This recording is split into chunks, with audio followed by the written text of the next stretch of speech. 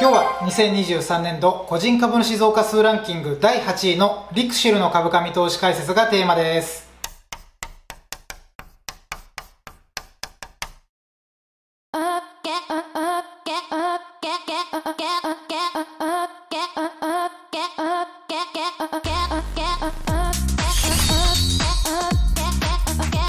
皆さんこんにちはお金の学校校長の今川和明ですまずは冒頭お知らせです。こちらなんですけれども大好評いただきました大阪会場に続けて11月30日土曜日に東京人形町で岡安商事さんが主催する投資イベントで講演をすることになりました。テーマは株主優待株投資の勧めということで毎月どこかの企業から株主優待を受け取っている僕が保有する株主優待銘柄の紹介をはじめ投資のポイントや今後の見通しなど株主優待生活株主優待銘柄への投資の魅力について余すことなくお話ししていきます。そして僕の話の前後に外貨投資の魅力ということで岡安商事さんが取り扱っている外国為替証拠金取引 FX のお話もお聞きいただけます。詳しくは動画の概要欄をチェックしていただきたいなと思うんですけれども11月30日土曜日11時開始となっていまして会場は東京人形町の岡安商事東京本部統括店セミナー会場となっています。先着15名の定員となっておりますのでぜひぜひお早めにお申し込みください。えー、ちなみに申し込んだ皆さんには主催者の岡安商事さんのスタッフさんから連絡があるようです。これはなりすましなどがないかの確認の電話だということですので、ま、お金の学校の視聴者さんであれば問題ないと僕は自負しているんですけどもぜひ真摯に誠実にご対応をお願いいたします。もし電話に出られなかった場合は岡安総商事さんのこちらの電話番号ですね、え、に折り返しの電話をお願いしますとのことです。申し込みが多数だった場合会場が変更になるかもしれないですし電話連絡が取れた方から優先になるそうですのでよろしくお願いいたします。当日は質問タイムなど参加される皆さんとコミュニケーションを取れる機会もあります。今度は東京都内東京近郊にお住まいの視聴者さんとお会いできることを楽しみにしています。ぜひ直接僕とコミュニケーションを取ってみたかったんだという視聴者さんのご参加お待ちしております。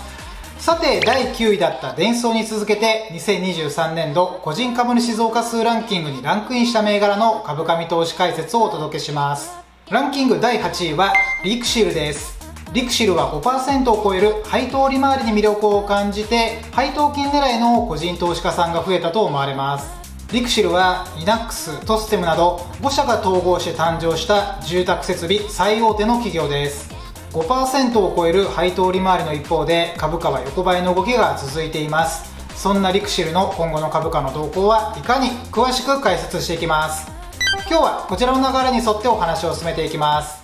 まずはリクシルのビジネスモデルを紹介しますリクシルは2011年に国内の主要な建材、設備機器メーカーであるトステム、イナックス、新日経、サンウェーブ工業、東洋エクステリアの5社が統合して誕生。2020年に現体制となりました。窓サッシ、キッチン、バスでは国内トップ、衛生陶器では2位のシェアを誇っています。アメリカのアメリカンスタンダードやドイツのグローエなど大型買収を行いまして、海外事業で事業規模を拡大する中、中国の孫会社が不正会計によって経営破綻するという苦い歴史もあります。現在では水回り設備、住宅、ビル用内装外装建材、システムキッチンと業界随一の豊富な商品を展開、より快適な住まいと暮らしを実現するソリューションを提供しています。リクシルには2つの事業セグメントがありまして、ウォーターテクノロジー事業では、イナックス、グローエ、アメリカンスタンダードといった世界的な主要ブランドを通して、使いやすさと美しさを追求したトイレ、お風呂、キッチンなどの水回り製品を提供しています。ハウジングテクノロジー事業では、トステム、エクシオール、インテリオ、スーパーウォールといったブランドを通して、窓や玄関ドア、エクステリア製品、インテリア建材などを提供しています。直近の台では5月に自動車部品の製造販売を行うアイシンのシャワートイレ事業を吸収合併すると発表しました。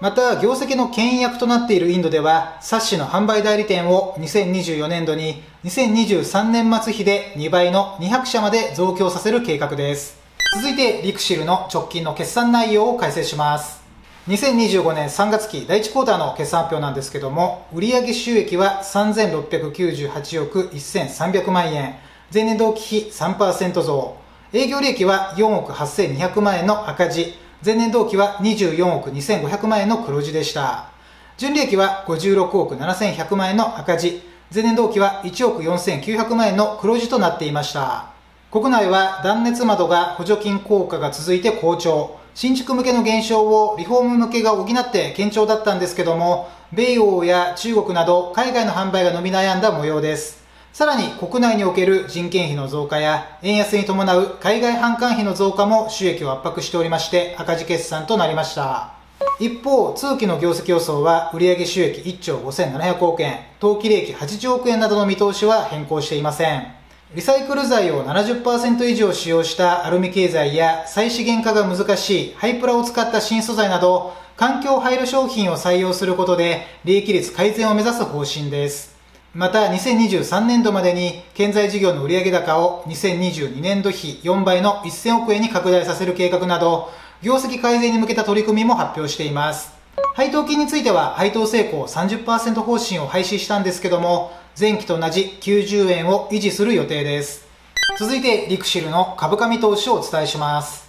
まずはここ5年間のチャートを見ていただきますと、コロナショック以降、株価はこの底値からで言いますと、3倍まで上昇を遂げたんですけども、2023年3月期は大幅減益、そして2024年3月期は赤字転落ということで、業績の落ち込みとともに株価は下落の一途をたどってきました。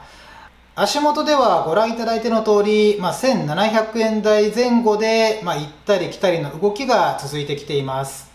リクシルの本日の終値は1715円で、年間配当金は90円を予定しています。よって配当利回りは5.2%となります。ちなみにリクシルは株の集体制度を行っていません。ここ直近の動きなんですけども、第一四半期の決算発表で業績不振が露呈して、まあ、さらに8月5日の日経金株価の大幅下落の煽りで株価を大きく下げたんですけども、まあ、現在は再びボックス圏に戻してきたという段階です。まあ、現在の株価の下支え要因となっているのが、まあ、利回り5%を超える高配当株であること。まあ、さらにアメリカの利下げによる住宅ローン金利の低下に伴って住宅の着工頭数が伸びることによってアメリカでの売り上げが上がる期待感かと思われます。そのため下支え要因が崩れますと株価はボックス圏の加減を下回ってくる可能性もあると思っています。現在の株価水準で PR が61.6倍 PBR は0.7倍と PBR には割安感はあるんですけども PR はかなり割高感がある状態です。今期の1株当たり利益予想が27円90銭となっていまして、1株当たり配当金の90円を大きく下回る利益水準。まあ、前期も赤字ながらも90円を維持してきた配当成功も撤廃しておりまして、まあ、業績が今一つな状態が続くと突然の減配発表も起きかねません。まあ、海外事業の構造改革による業績への貢献があったとしても、まあ、国内は断熱窓リフォームの補助金による需要頼みのところもありますので、厳しい状況が続くことも考えられることから、配当利回りだけを見て買いに行くのはリスクが高いように思います。なので、そういったリスクを把握した上で購入を検討していく必要があると思われます。続いて、リクシルの今後の懸念材料についてお話しします。まずは住宅市場の動向についてです。リクシルの地域別売上収益は日本が65%と多くを占めています。日銀の利上げによる住宅金利の上昇、建築資材や人件費上昇によって住宅価格が大きく値上がりしておりまして、この先も新築需要は鈍いままの可能性があります。住宅の需要に業績が左右されるビジネスモデルであることから、国内の住宅市場の動向次第では業績の下振ら要因となってきます。二つ目は為替の動向についてです。資材を輸入して国内で販売する規模が大きいビジネスモデルであることから、円安傾向が続くと業績にはマイナスの影響が出てきます。今日のまとめということなんですけども配当利回りは5%台と非常に魅力的なリクシルではあるんですけれども第1クォーターの決算発表は当初の見通しを下回るなど厳しいスタートとなりました。海外事業の構造改革の効果国内のリフォーム需要に期待しつつも1株当たり利益を上回る配当金を出しているということで突然の減配発表には注意が必要です。株価はボックス圏の下値ラインにいるわけなんですけれども勇み足で買いに行くには注意が必要な銘柄だと思います。今回もご視聴ありがとうございました。オープニングで紹介中のニコニコチャンネルプラスお金の学校雑談部屋ではあなたの資産運用に役立つ情報をテキストや動画個別相談を交えてお届けしています。詳細については動画の概要欄からご確認をお願いします。あなたのご参加お待ちしています。